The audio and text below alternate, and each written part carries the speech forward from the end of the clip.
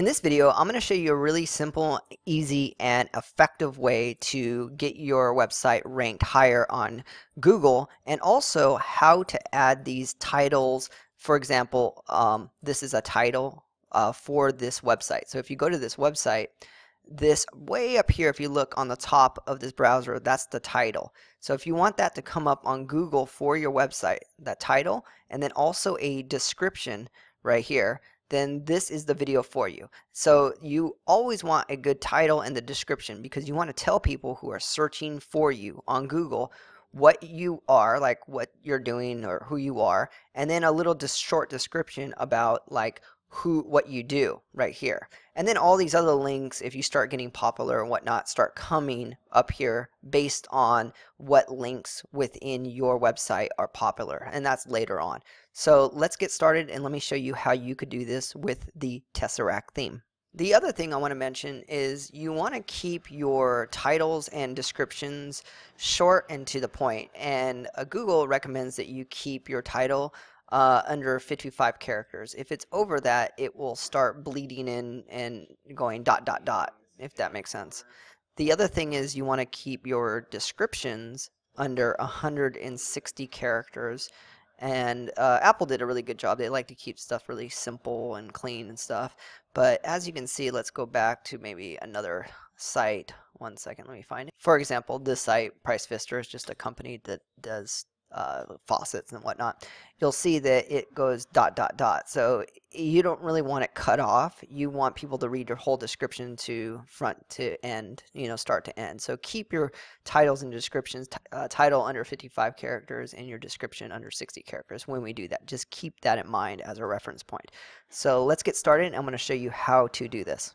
So the first thing you want to do is you want to log in to your theme in your dashboard like this into WordPress and then you want to go to plugins. We're going to go ahead and add a new plugin. Click on add new, just like that. The next thing you want to do is you want to search for Yoast SEO. That's Y-O-A-S-T S-E-O. And you do that by going right here in this little search box. And this is going to search the plugins that are on um, WordPress. And plugins are little things that get added to your WordPress to help it function better and so on and so forth. So let's go ahead and search Yoast SEO.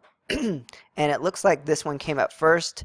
Um, so let's use that one. That's a really good uh, thing. And I'm going to show you what it kind of looks like first. I'm going to click on this. It'll pop up and it'll give you a little description of what it does. It helps with these titles and it helps you know if your pages are ranking well or will rank well or, or will do well uh, for the keywords and descriptions and so on like this for your website. So this is a really good site for not only SEO, search engine optimization, but also it helps you keep track of your titles and your descriptions and it helps you manage that a little bit better. So let's get started by clicking install now. Do that and go ahead and click activate plugin just like that. All right? And that's it. That's how you activate that plugin and you'll see it down here right there. And you're probably wondering well now what do I do? Where do I go? Well what you do is you go to the pages just like this.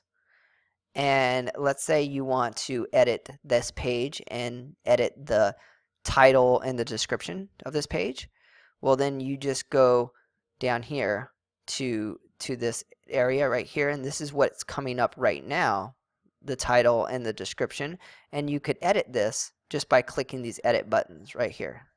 See that? You could just click over this. So instead of it saying home tesseract theme I could put anything else.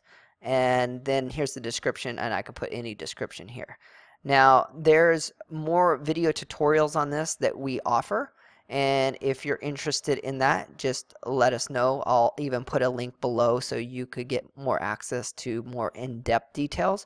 But what I would focus on is each page making sure, like here's a sample page that we have, that we have the title and the description. That's more that's most important. That's relevant to each page. So make sure those titles and descriptions are edited correctly and then that will show up on Google as the title and description like we showed you, like I just showed you on the other sites. And of course after you're done, press update and that will save the new title and description that you added.